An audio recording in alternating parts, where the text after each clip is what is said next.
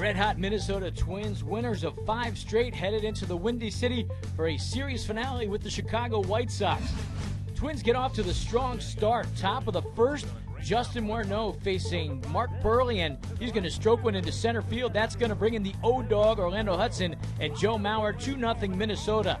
Top of the third, it's Mauer with one on and one out. To the pitch to Mauer. He swings and drives one down the left field line. It's a fair ball. This will catch the corner. Mauer is going to get another extra base hit. A double for Mauer.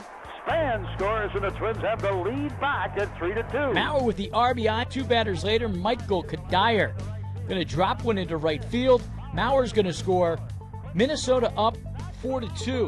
White Sox come back, though, down 4 3. Gordon Beckham, the frozen rope to left. That would tie the game at four apiece. Beckham's first home run of the season. Bottom the eighth, game tied at four. Andruw Jones rips one to left field. That's going to bring in a run. White Sox up five to four. In the ninth inning, Bobby Jenks trying to preserve the win against his former teammate Jim Thome. And here's the pitch. And a fly ball to left field. Backing off Pierre. He won't get it. It's over his head. Hardy on his way to third. Hardy is being waved home. They're going to have a play. Oh, Scotty, Scotty, Scotty. Sox win 5-4.